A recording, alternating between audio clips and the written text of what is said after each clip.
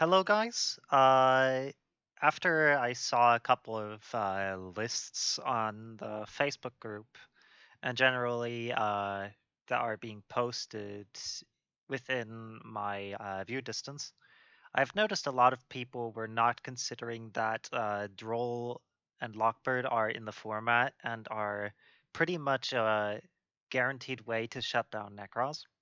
So I'm doing this video to specifically deal with the worst card Nekroz can ever deal with apart from Mistake. Uh, and that is, um, yeah, how we can counter it.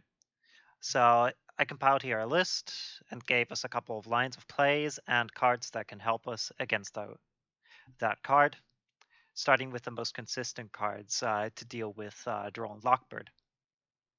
So first of all, we got Instant Fusion. Uh, Instant Fusion is going to summon us Millennium Eyes Restrict, and this is the first play we're going to do in the game. And uh, this will ensure us that we're playing through at least one hand trap, and with that we can negate Droll, so we can basically search as much as we want. The next card, of course, is Called by the Grave, which is famous for being good to counter hand traps that are discarded that means not one of our next cards. Uh, this and Gamma, which is the card that I mean, are probably the main de- uh, the go-to main deck staples when it comes to dealing with Droll and Lockbird in Nekroz. And you can also, uh, if you decide to play Pro- Pot of Prosperity, you can uh, force your opponent, if you see one of these four cards, uh, to um, like not roll you. And that is something that makes uh, Pot of Prosperity a pseudo way to out roll. Though you also have to notice that if you do not open one of these two cards, and you activate this as your first card. So you activate this first uh, this as your first card if you know your hand cannot beat Droll, by the way. So keep that in mind. If you got like a hand that could play through Droll, but like Droll would hurt it, activate pot, uh, uh, the Pot of Prosperity first and hope you see Called by the Grave or Gamma and take those.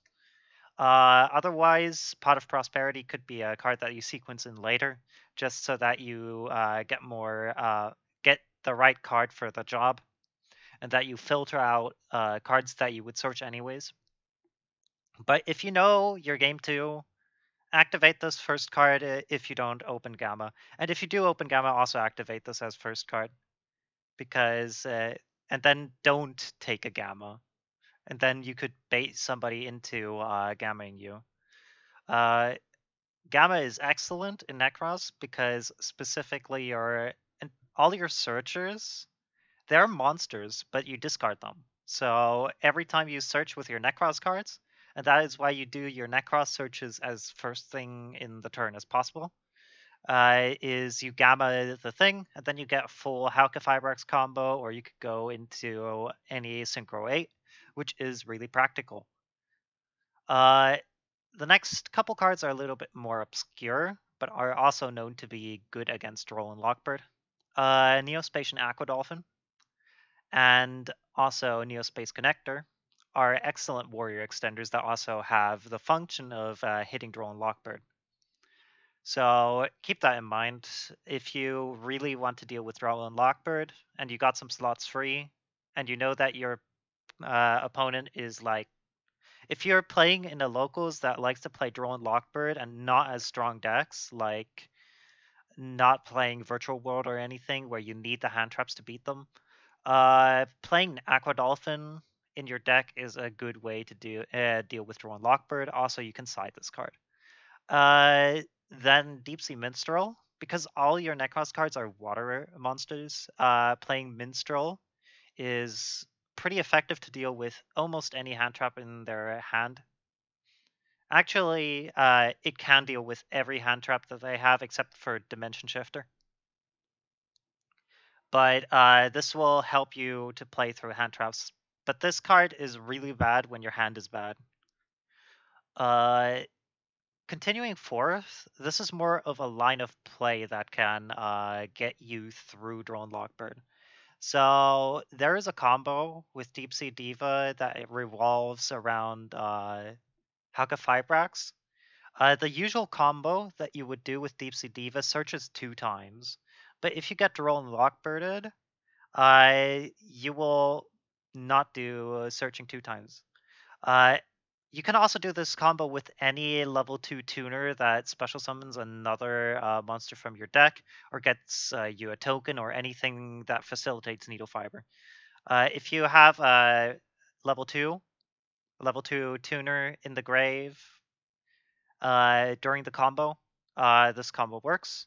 And the combo will let you, uh, will allow you to end on VFD no matter if they drone lockbirded or asked your uh, Herald of Arclights.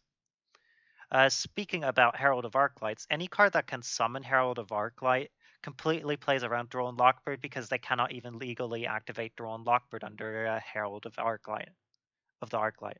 So keep that in mind. Also, Herald of the Arclight, if you want to play some kind of engine that need, uh, that supports uh, Dogmatika Maximus, you can also play something like the lefty righty driver package, uh, which then uh, facilitates summoning Herald of the Arclight. Diva can do the same thing. Lefty and righty driver are a bit better at it than Diva, but Deep Sea Diva is also searchable, and Deep Sea. Uh, and the same card can also search Deep Sea Minstrel, which I put, uh, which is the reason why I put those two together. Then a more obscure card, uh, Kokimaru Guardian. This card is generally good against the first hand trap in your turn. If you don't play a lot of normal summons, you could consider this card, but I think uh, that Neo-Spacian Aqua Dolphin is better. But generally, uh, having this as an option is always a way to go if you really, really, really need to beat Droll. And then uh, there is Exchange, which can, of course, uh, reveal, uh, which reveals one of your opponent's cards, uh, his in hand, so you know what hand traps they have, and then uh, you exchange cards. This card can be activated if you got like a bad hand or a good hand, and you could like ruin your opponent's hand because your Nekroz cards usually do not do anything for other decks. So con uh, consider that if you like bricked on this. But if your hand is good, you could do your searches, set the essential cards, and uh, do exchange if you need to play around other hand traps, or if you really cannot play around Droll, you just exchange directly. Uh, then one thing that I have to say is any Kristya combo that we do is not going to play around Droll. Unless you hard draw Kristya, you cannot play around Droll playing the Kristya combos. So this is also a reason why I cut the Kristya combos uh, out of uh, my uh, versions of the deck, specifically because Droll is right now, I think, the most important side deck hand trap in the game.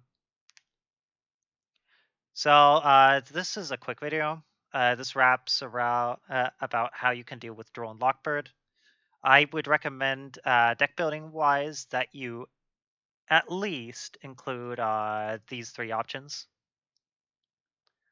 And uh, then you can be pretty safe about playing around Droll because Gamma helps against Droll, Called helps against Droll, and Prosperity gets you to Called or Gamma and prosperity can also help you otherwise. This card generally is excellent.